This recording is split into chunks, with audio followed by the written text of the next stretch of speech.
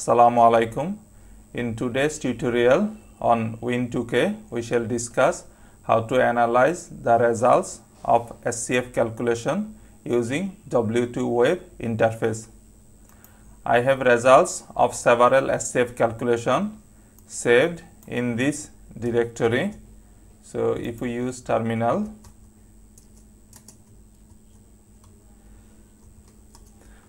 you can see that there are several folders and I usually save the results from SCF calculation in different folder with different name to make it easy for me to organize and to use at a later time.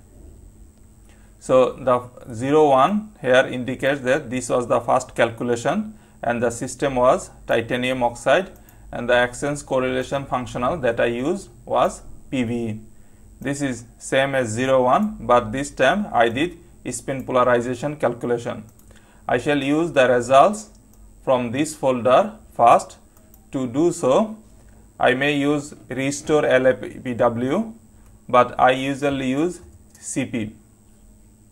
So there is another advantage of writing folder names in this way because if I now just type 01 and hit tab it will take the full name because no other folder is starting with 0 01. So to select all the files in that folder I put star. Now I want to copy all of them to this current working directory. So I put a dot here then I see that we have all the results. Here is the SCF file, here is the structure file. If we click here, we can visualize the structure. So this is the titanium oxide rutile phase. So I will use the results of SCF calculation for this system. Now to analyze the result, we will use analysis under the utilities so if we click on the analysis, you can see there, there are many parameters. Some are atom independent, some are atom dependent. There are also parameters that depend on spin polarization calculation. You can get the details about these parameters in the user guide. So I am using WIEN2k 19.1 version if we scroll down little bit then at this point there's 4.4 the case scf file if i click here it takes me to this the description of this. Here it says when it is written colon e and e. This is the total energy in Rydberg. Dis is the charge distance between last two iterations. Also the atom dependent parameters cto there is the total charge in the sphere for atom 1, atom 2 etc. and the size or the radius of the sphere is determined, determined by RMT. Now if we go back, let us select this and I will use test SCF file that I have here in this folder test SCF and let's uh, select last 10 lines first. So you can see these are the energy values, total energy values recorded in the SCF file. The, the line started with colon E and E and from the SCF file it took all of the line then last 10 lines are printed here that starts with colon E and E. Similarly last 10 lines with uh, starts with DIS and these are the charges in the sphere. So, these are the charges in the first sphere, these are the charges value in the second sphere. Now, there is an option to select or to visualize this graphically. If we check this box and click on the analyze SCF file, you can see it shows all the results in different plot and but here you can see the SCF file ended in 13th iteration. Since I selected only last 10, so it plotted for the last 10 only. But I can select more. So let's select 50 lines then if we click now you see that we have all the results. But there are some other things also. You can see from here the energy values are positive and the small values whereas the energy total energy are negatively large values. What it did it took the first one or scale the first one to be 0 and all the others scaled relative to the first one that's why the first one has 0 and all the others are relative to the first one so these are not the exact values whereas these are the exact values. Now uh, for uh, analyzing this is good enough but if you want to include this graph in your project or thesis then you should plot it in the exact values of the energy.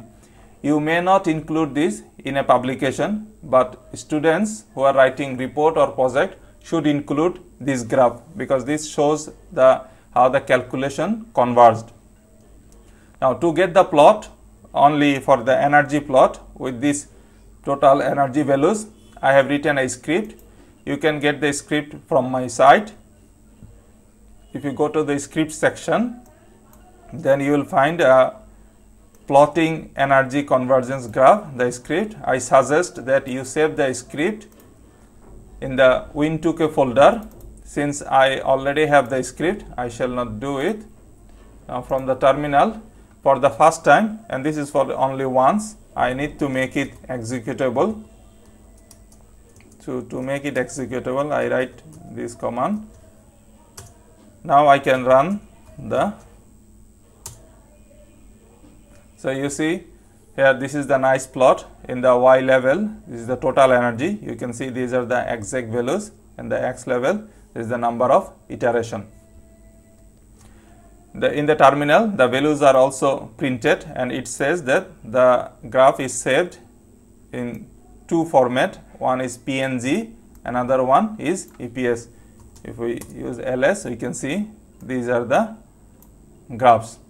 Now if you don't want to see the graphs if you just want to plot them you can use s as a first argument in the uh, with the with the script. Then it will only print the results and save the graphs. It will not do it will not show the graph. Now this time I want to use the results from this folder. So I need to delete all of them. To delete I want to use rm star. If I use like this rm star it will only delete the files. It will not delete any folders. So you can see rm cannot remove this folder because this is directory or folder.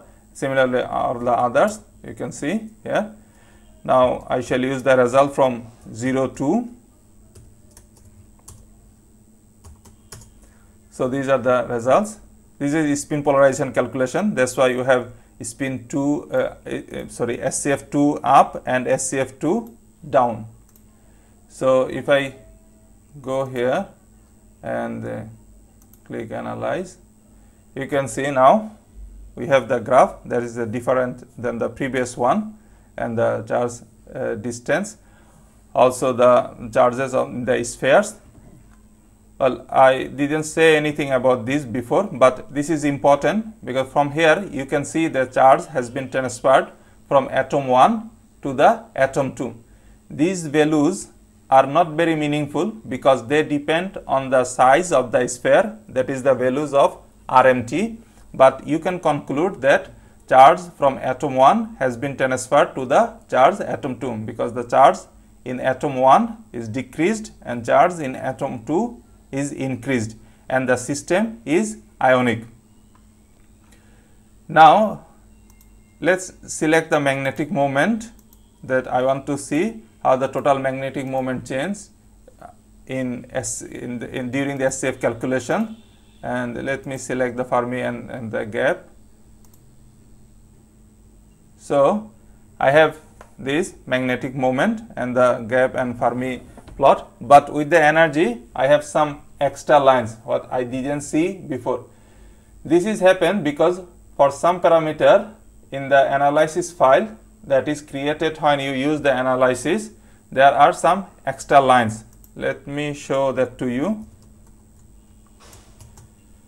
So when you use analysis it creates a file analyze dot out. So if you open it you can see these the iterations of SCF calculation finished in 16 s iteration but it should stop here but there are some extra lines.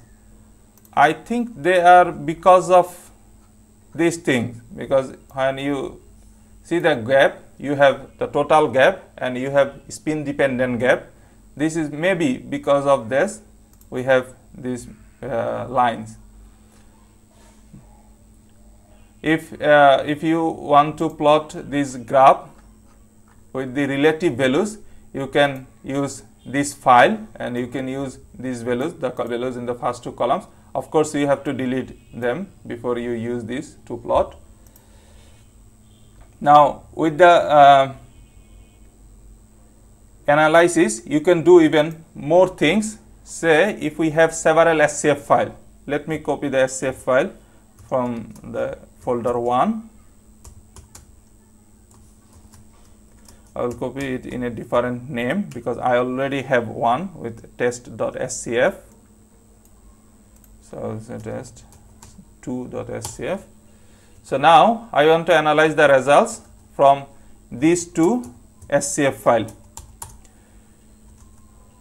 in the usual calculation you may not you will not have uh, more than one SCF but when you do volume optimization calculation you will have several SCF files and you need to analyze sometime so since I am using several SCF files I will click here and uh, let me write it.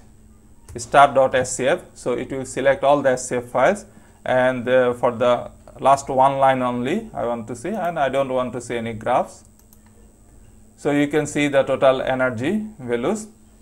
This is different, both uh, little bit different because they are in from different SCF file, different calculation. Though they are the same system, but one is spin polarization and another was not spin polarization. So the magnetic moment uh, there are only one file. Uh, the one file has the magnetic moment, other don't have it. That's why it's uh, printed for this only.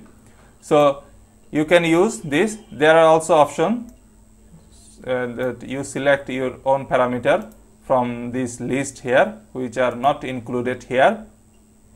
You can do the same also with the script. So, if you run the script you see it shows that there are two SCF file which one you like. So, for example, I want to use this one. So, it will show you the print and it will also tell you what SCF file it selected. Now as I have shown you before, I have several folders. So for example, I want to use the results from this folder.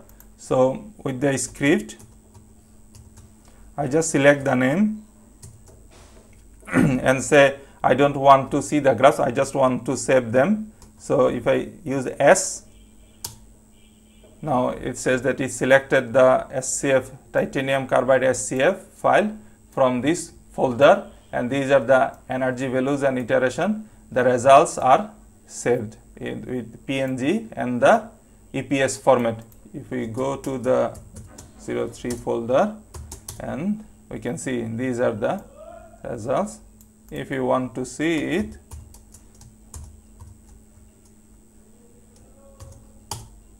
you can see this is the graph. Okay that's all for today. I think it will be helpful. Thank you